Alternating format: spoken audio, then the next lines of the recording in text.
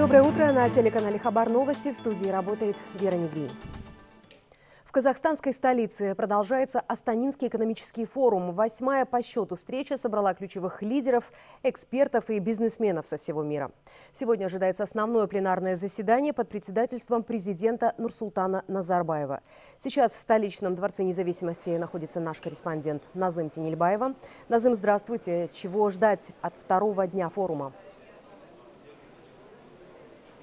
Доброе утро, Вера. Сейчас в столичном дворце независимости многолюдно, и эксперты едва ли не со всех уголков мира в предвкушении старта пленарного заседания с участием президента страны Нурсултана Назарбаева. А, уже можно сказать, что дан старт второго дня форума. В мероприятии принимает участие порядка трех тысяч представителей политических, экспертных и деловых кругов. Причем здесь не только обсуждаются актуальные темы, но и э, решаются конкретные пути решения. В течение дня ожидается проведение дискуссий национальных чемпионов, Европейский региональный форум, где будут обсуждаться вопросы таможни и бизнеса. Также третий международный форум «Шелковый путь. Развитие евразийского энергетического водного транзитного потенциала». Еще одна ключевая тема форума – «Экспо-2017. Энергия для устойчивого развития». Стоит отметить, что в течение всего дня в холле Дворца независимости будут проводиться агровыставка, а также выставка инновационных технологий. Вот сейчас мне э, слышно, что президент уже заходит в зал, где все участники ждут его выступления, поэтому предлагаю прерваться и посмотреть э, основную панельную дискуссию сегодняшнего дня. Вера, мы следим за развитием событий. Спасибо, Назым. Я напомню, наш корреспондент э, Назым Тенельбаев рассказала о том, какие мероприятия планируются сегодня в рамках Астанинского экономического форума. Мы продолжим выпуск. Ученые Восточно-Казахстанского государственного технического университета четко видят свою роль в реализации плана действий 100 конкретных шагов дальнейшего государственного строительства. Современная экономика требует квалифицированных кадров. Чтобы обеспечить ими страну, в ВУЗе намерены внедрять в процесс обучения новейшие технологии и делиться опытом с другими учебными заведениями. Госуниверситет входит в десятку лучших. Здесь готовят специалистов для ведущих отраслей экономики чтобы наша страна выглядела вот на таком высоком уровне, э, в числе 30 развитых стран мира. Для этого надо развивать экономику, вообще управление э, государством и э, демократическое общество должно строиться. И как ученые мы тоже вот должны вносить свой вклад в развитие экономики. План «100 шагов по реализации пяти институциональных реформ» предусматривает конкретные действия для справедливого и открытого судопроизводства. В Казахстане ужесточаются требования к кандидатам на занятие судейских должностей. К примеру, претендент должен будет иметь не менее пяти лет стажа. Кроме того, кодекс этики судей позволит казахстанцам обжаловать действия служителей Фемиды в специальном судебном жюри. Эксперты отмечают, реформы помогут повысить уровень доверия населения и профессионализм самих судей большая эффективность, наверное, будет от того, что будущие судьи обязаны будут проходить годичную стажировку. Это должны быть обязательно выпускники э, судебной магистратуры, обязательно должны проходить испытательный срок. Мы надеемся, что вот такой подход к подбору судейских кадров будет способствовать только улучшению и укреплению судебной власти в Республике Казахстан. Экспо-2017 – это прекрасная возможность для Казахстана показать себя одним из основных центров глобального мира. Об этом в интервью нашему агентству заявил экс-премьер-министр Израиля Эхуд Барак. По его мнению, создание восстания финансового центра станет окном для проникновения на казахстанский рынок высокотехнологичной экономики и новых финансовых инструментов. Экспо я думаю, что идея создать на месте кампуса Экспо 2017 финансовый центр просто великолепна. Нарастает необходимость в увеличении количества таких мест в мире, вроде тех, что уже есть в Лондоне, Нью-Йорке, Женеве, Сингапуре. Кроме того, миру нужен партнер, кто пользуется доверием Китая и России и одновременно взаимным доверием Европы и США. Все эти факторы вместе взятые делают эту идею как практичной, так и поражающей воображение, с внушительным потенциалом. И, конечно, это потребует огромной работы.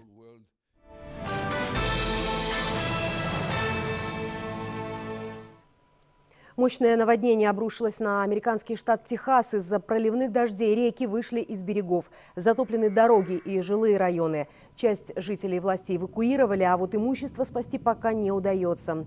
В зоне затопления оказались тысячи автомобилей. Синоптики тоже не радуют. По их прогнозам, в ближайшие дни погода будет становиться только хуже. Калифорнии на устранение последствий разлива нефти могут уйти месяцы. Об этом заявили власти округа Санта-Барбара после оценки масштабов ЧП. Из-за разрыва нефтепровода на побережье Тихого океана попало около двух с половиной тысяч баррелей нефти. Отряды спасателей и добровольцев пытаются минимизировать последствия аварии.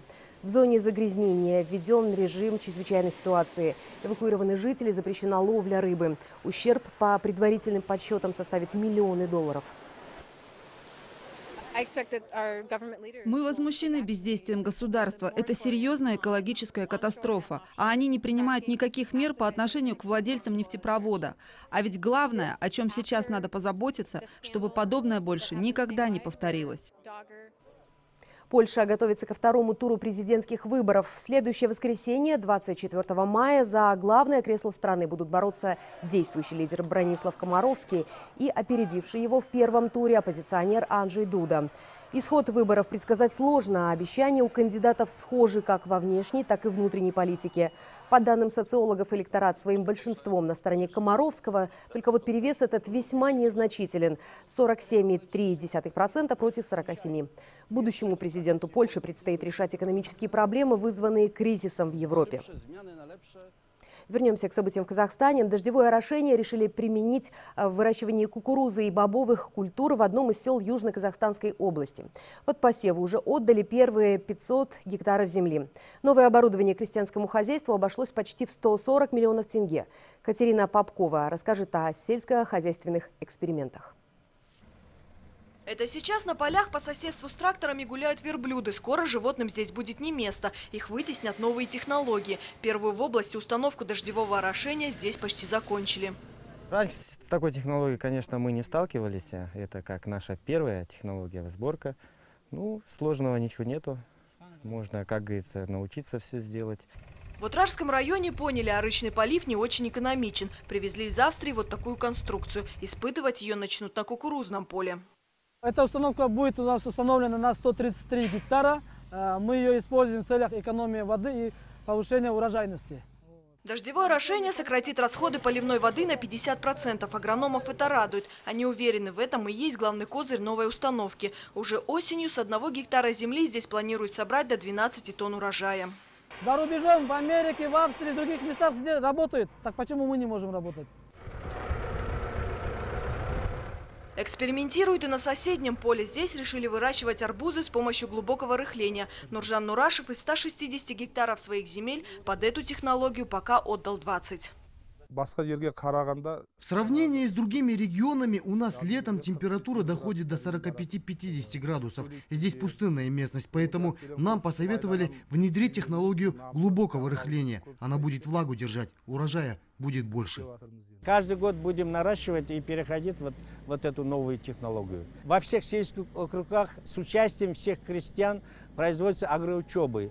И там объясняется, в этом году в Утражском районе больше 21 тысячи гектаров отдали под посев. 90% земель по-прежнему обрабатывают за счет естественного полива. А ведь когда-то и капельное орошение было в новинку, а сейчас и оно доказало свою эффективность в борьбе за урожай. Катерина Попкова, Ербалат Абишев, Южно-Казахстанская область.